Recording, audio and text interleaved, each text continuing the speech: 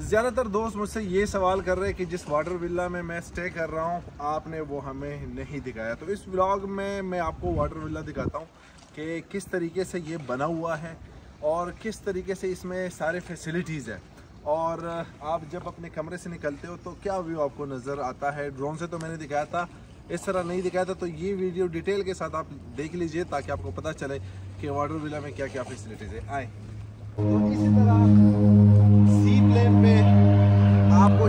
लेके आते हैं और फिर यहाँ पे जो आपका वाटर विला होता है तो वो आपको यहाँ पे दिखा देते हैं छोड़ देते हैं और फिर आप एंटर होके तो सारी चीज़ें खुद देख सकते हैं।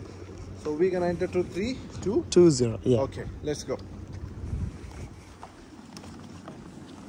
तो ये विला है three G three two zero जिसमें मैं इस वक्त रिहाइश पजीर हूँ दिखाता हूँ। यहाँ से हाउस कीपिंग वाले आते हैं, आपको बेल देते हैं, और ये दो, दिन में दो मरतबा आपकी रूम को क्लीन करते हैं which is so so interesting चले जी।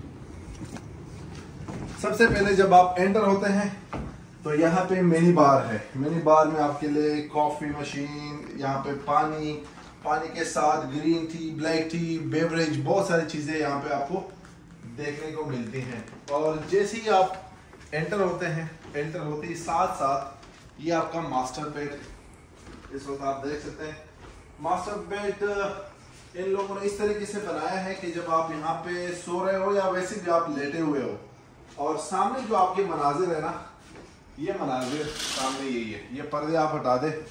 और सबसे कमाल की बात ये है कि ये पूरा का पूरा व्यू जो है, यहाँ से आपको समंदर दिखता है।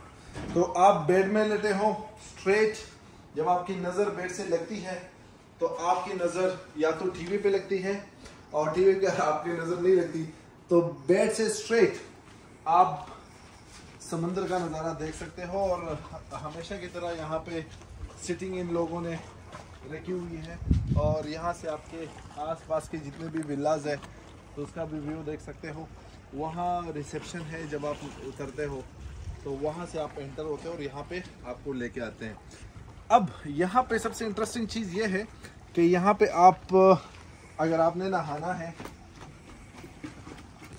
तो यहाँ पे आप तैयारी पकड़े और बिल्कुल अपने विल्ले से आप नीचे आके तो यहाँ पे आप नहा सकते हैं। नहाने के बाद आराम के साथ ये शावर यहाँ पे पड़ा हुआ है। शावर पे रूम जाने से पहले तो आप शावर लें और मैं आपको दिखा देता हूँ। आप शावर ले सकते हैं।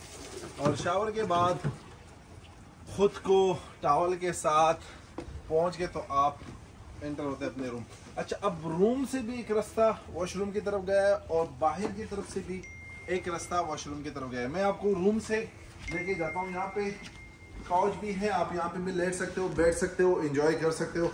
और सबसे बेहतरीन और अच्छी बात कि वॉशरूम का जो एरिया है वो काफ़ी बड़ा है। तो ये इसका वॉशरूम है, मैं आपको दिखाता चलो, आए। तो ये आपका वॉशरूम है।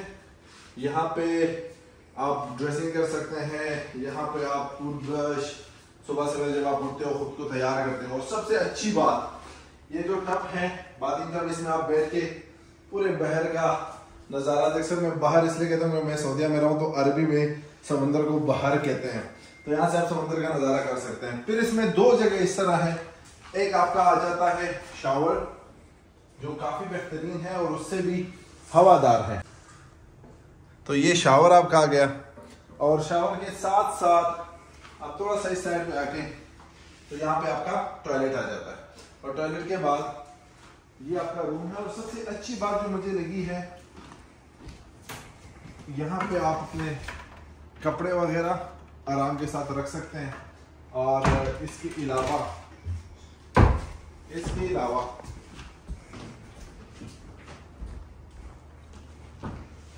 इस साइड आप आएँगे तो यहाँ पे आपको लाइफ जैकेट भी है, अगर आप पानी में उतरना चाहते हैं तो सारे इक्विपमेंट्स हैं।